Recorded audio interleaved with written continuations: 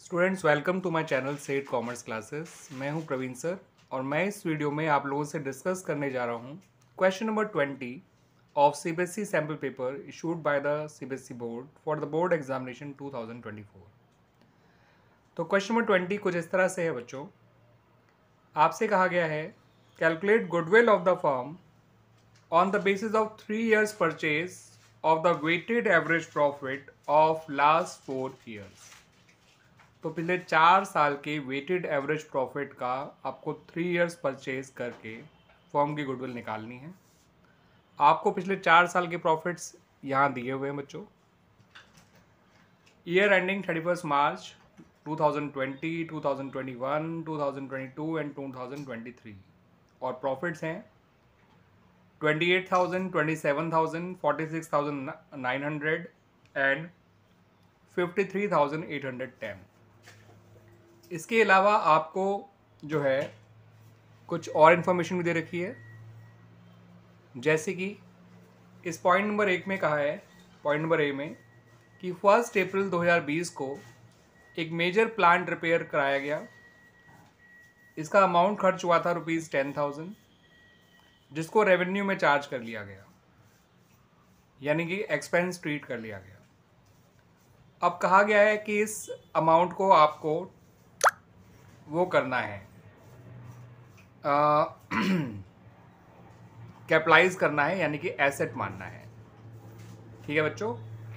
For the goodwill calculation यानी इस ten thousand को जो पहले एक्सपेंस ट्रीट कर लिया गया था, अब उसको एसेट मानना है और इस पर डेप्रिजिएशन भी लगाना है at the rate ten percent per annum on reducing balance method और ये गलती हुई है एक अप्रैल 2020 को। तो यानी इसका इफ़ेक्ट जो पड़ेगा वो 2021 जो मैं आपका जो ईयर एंड हो रहा है, वहाँ पड़ेगा। और जो इसका डेप्रिशिएशन है, उसका effect year ending 2021 year ending 2022 and year ending 2023 इन तीनों साल पे पड़ेगा। एक्सपेंस को एसेट माना जाएगा तो उसकी वजह से जो इफ़ेक्ट पड़ेगा वो तो सिर्फ़ सेकेंड ईयर में पड़ेगा जो कि इकतीस मार्च दो हज़ार इक्कीस को ख़त्म हो रहा है।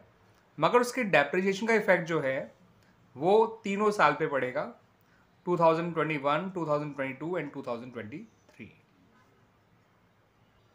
उसके अलावा आपको एक पॉइंट और दे रखा है कि for the purpose of goodwill valuation या कैलकुलेशन ऑफ़ गुडविल कंपनी ने डिसाइड किया या कह लीजिए फॉर्म ने डिसाइड किया कि जो ईयर्स हैं जिनका एंड हो रहा है इकतीस मार्च 2020 में एंड इकतीस मार्च 2021 में, यानी कि ईयर 1920 एंड 2021 इन दो साल की वेटेज आपको वन रखनी है, दोनों साल की वेटेज आपको वन वन रखनी है, क्योंकि दोनों ईयर जो है वो कोविड से अफेक्टेड हुए थे, इसलिए दोनों की वेटेज आपको सेव रखनी है।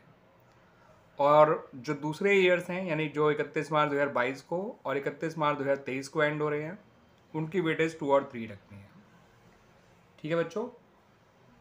तो इन दोनों बातों का ध्यान रखने के बाद आपको जो है वेटेड एवरेज प्रॉफिट निकालना है एंड देन उसके बेसिस पे फॉर्म की गुडविल निकालनी है। क्लियर बच्चों? तो आइए पहले ये दो एडजस्टमेंट्स कर लेते हैं और अपना एडजस्टेड प्रॉफिट निकाल लेते हैं for all these given years उसके बाद वेटेड एवरेज प्रॉफिट निकाल के हम गुडविल भी निकाल लेंगे। ठीक है बच्चों? सबसे पहले बच्चों, इस तरह से टेबल बना लीजिएगा।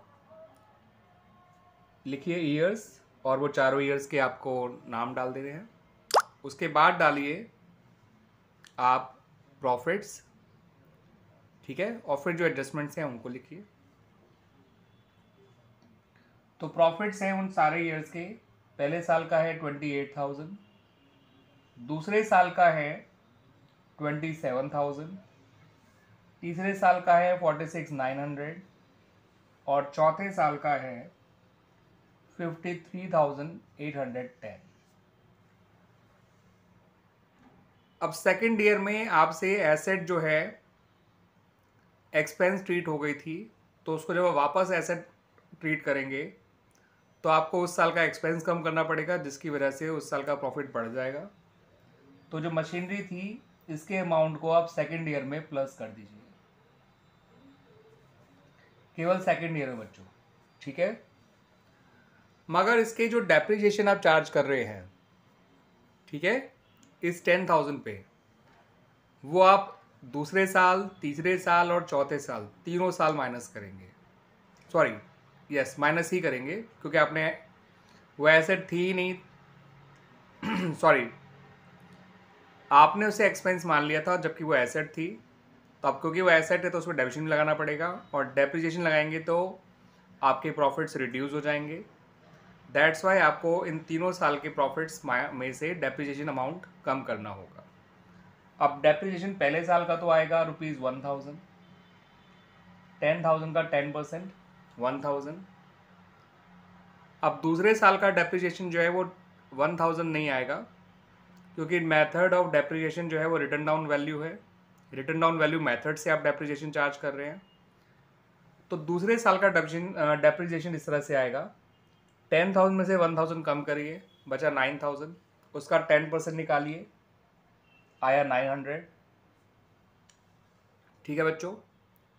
फिर नाइन थाउज़ेंड में से नाइन हंड्रेड और कम कर दीजिएगा, बचेगा एटी वन हंड्रेड, उसका टेन परसेंट निकालिए, आएगा एट हंड्रेड टेन। ठीक है बच्चों? तो आपने एसेट तो सेकेंड ईयर में प्लस करी, मगर उसके डेप्रिसिएशन को second year third year fourth year तीनों साल में माइनस किया। तो इतनी ही एडजस्टमेंट थी। बाकी वेटेज वाली बात तो एडजस्टेड प्रॉफिट के बाद काउंट होगी तो पहले एडजस्टेड प्रॉफिट निकाल लेते हैं, जो कि निकल कर आएगा। पहले साल का तो ट्वेंटी एट थाउज़ेंड ही रहेगा। दूसरे साल का हो जाएगा थर्टी सिक्स थाउज़ेंड इनको ऐड करके इसे माइनस करेंगे। तीसरे साल का फोर्टी तीसरे साल का फोर्टी सिक्स थाउज़ेंड और चौथे साल का फिफ्टी थ्री थाउज़ेंड सही है बच्चों? तो इस तरह से इन चारों साल के हमारे एडजस्टेड प्रॉफिट आ गए। आइए अब वेटेड एवरेज प्रॉफिट की तरफ़ चलते हैं। बच्चों वेटेड एवरेज प्रॉफिट निकालने के लिए आप इस तरह की टेबल और बना लीजिएगा। यहाँ पर आपको हर ईयर का एडजस्टेड प्रॉफिट लिखना है, जो कि पहले साल आया था ट्वेंटी एट थाउज़ेंड दूसरे साल का आया था थर्टी सिक्स थाउज़ेंड तीसरे साल का आया था फोर्टी सिक्स थाउज़ेंड और चौथे साल का आया था फिफ्टी थ्री थाउज़ेंड अब इनकी रिस्पेक्टिव वेटेज जो है उसके सामने लिख लीजिए। इन दोनों साल की वेटेज आपको वन वन लेनी है और इन दोनों साल की टू और थ्री लेनी है। अब आपको एडजस्टेड प्रॉफिट और वेटेज का प्रोडक्ट निकाल लेना है। ट्वेंटी एट इंटू वन होता है ट्वेंटी एट तो ये आया ट्वेंटी एट थाउज़ेंड ये आएगा थर्टी सिक्स थाउज़ेंड ये आएगा नाइन्टी टू थाउज़ेंड और ये आएगा one lakh fifty nine thousand. ये जो आपका प्रोडक्ट निकल कर आया है इसका सम कर लीजिए। ये आएगा सिक्सटी फोर और टू सिक्सटी सिक्स और ninety one lakh fifty six one lakh fifty six और नाइन होता है। One sixty five two sixty five और प्लस फिफ्टी हो गया। Three hundred three lakh fifteen thousand तो this is three lakh fifteen thousand ठीक है? तो this is three lakh fifteen thousand इन सब का sum sum of the product अब आपको क्या करना है बच्चों? अब आपको निकालना है अपना वेटेड एवरेज प्रॉफिट वो कैसे निकलेगा? वेटेड एवरेज प्रॉफिट के लिए आपको इस थ्री लैख फिफ्टीन थाउज़ेंड को डिवाइड करना है सम ऑफ़ वेटेज से, जो कि आएगा सेवन सेवन से डिवाइड करिए इसको. सेवन फोर जा ट्वेंटी एट और three thirty five seven five जा थर्टी फाइव तो वेटेज एवरेज प्रॉफिट आ गया रुपीज़ फोर्टी फाइव थाउज़ेंड अब गुडविल भी निकाल लेते हैं। जो वेटेड एवरेज प्रॉफिट आया है, उसको नंबर ऑफ़ ईयर्स परचेज से मल्टीप्लाई कर दीजिए। आपका आंसर आया one lakh thirty five thousand तो this one lakh thirty five thousand is the goodwill of the firm ठीक है बच्चों? तो ध्यान रखिएगा, जो स्टेप्स हमने फॉलो करे हैं, हमने पहले प्रॉफिट्स लिखे हर साल के, फिर जो एडजस्टमेंट्स कही थी पॉइंट नंबर ए में, उनके अकॉर्डिंग सेकेंड ईयर में हमने प्रॉफिट में टेन थाउज़ेंड प्लस किया और डेप्रिसिएशन को सेकेंड थर्ड फोर्थ ईयर्स में से माइनस करके हर साल के एडजस्टेड प्रॉफिट निकाल लिए। फिर हर साल के एडजस्टेड प्रॉफिट को उनके रिस्पेक्टिव ईयर्स की वेटेज से मल्टीप्लाई कर दिया। ठीक है बच्चों? और जो प्रोडक्ट आया प्रॉफिट और वेट आ, उसका वेटेज का उस प्रोडक्ट को वेटेज के सम से डिवाइड करके वेटेड एवरेज प्रॉफिट निकाल लिया। और वेटेड एवरेज प्रॉफिट को नंबर ऑफ़ ईयर्स परचेज से मल्टीप्लाई करके गुडविल ऑफ़ द फर्म निकाल लिए। क्लियर हो गया बच्चों? तो it's a good question not so hard question आपको उम्मीद है मुझे उम्मीद है कि आपको ये समझ में आ भी गया होगा। ठीक है बच्चों? Thank you